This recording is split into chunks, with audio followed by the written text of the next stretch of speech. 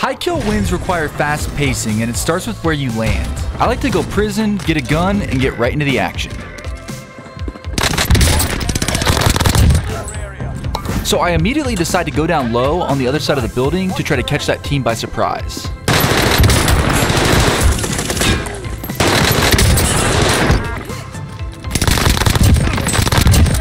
So with that gunfight, they actually gave away their position on the mini-map with the airstrike. And when I realized it was two guys, I used a little bit of movement misdirection to get the second guy to push me. So I finished looting up in prison and rotate to control center to get my loadout. And I often make this rotation because this is another busy part of the map. And remember, for high kill gains, it's all about your pacing. Which is why I push in here without my loadout. Let's see what the kid's made of.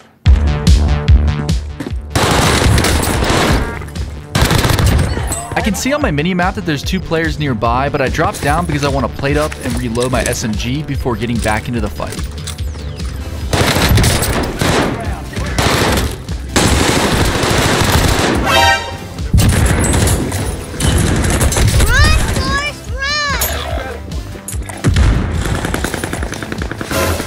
Too many of them!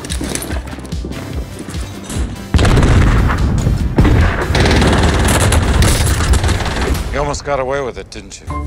So I caught really weird timing with that second guy because I didn't hear his footsteps at all. And after that, I didn't really have many options because I couldn't reload my SMG. But hey, it's Rebirth Island, so I decided to go in for round two. Hello there.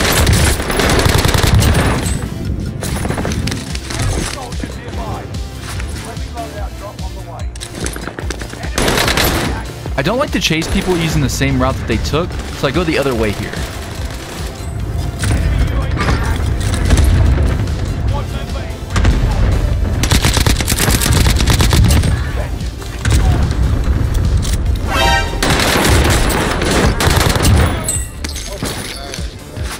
I definitely got great COD timing right there.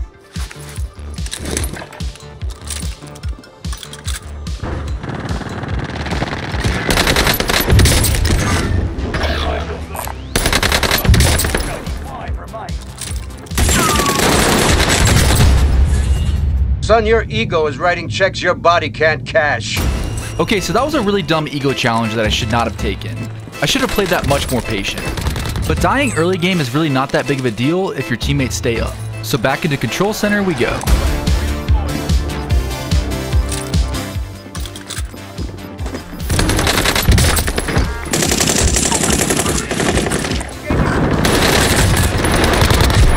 So for this gunfight, I position myself behind this head glitch to make my hitbox really small to give myself the advantage when he pushes into the room. And this allows me to win the gunfight. And here I'm just getting the fold from the first guy up top.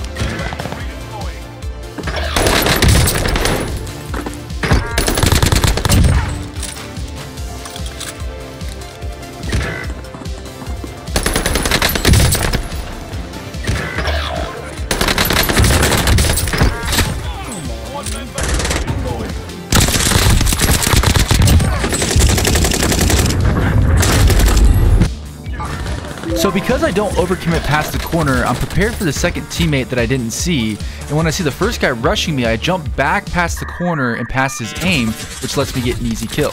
But unfortunately, there's a third guy because it's Rebirth Island, and well...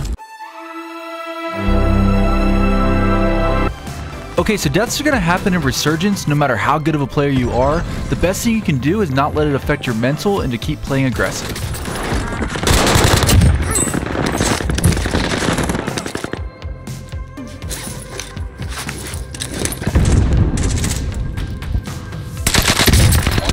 Here I'm going after the guy on top of prison because I really want to get control of this roof area before I rotate in.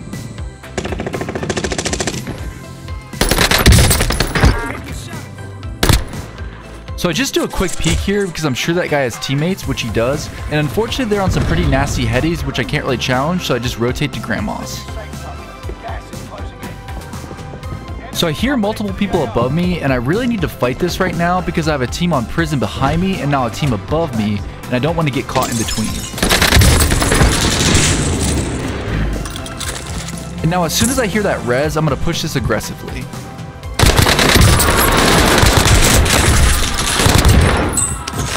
So with the circle this small and so many teams left, I know I'm going to have to try to make an early rotation down to circle to avoid getting held by another team. But first, I try to get another kill or two before I make the rotation.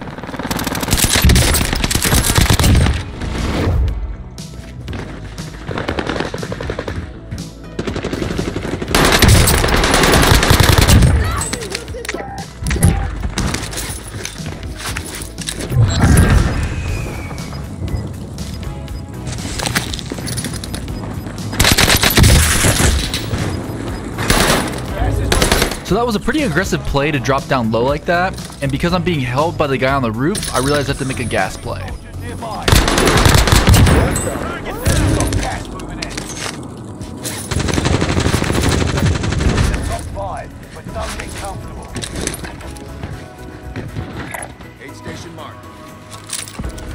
Okay, so with that buyback, I know there's a player down low and one in the air.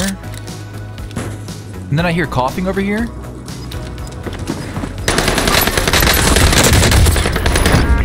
And I pretty much lose all aim assist there, and now it's a run for my life.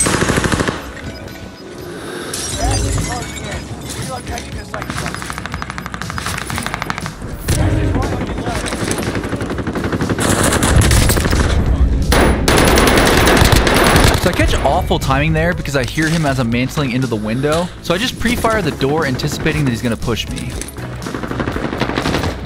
And with that, I'll see you guys in the next one.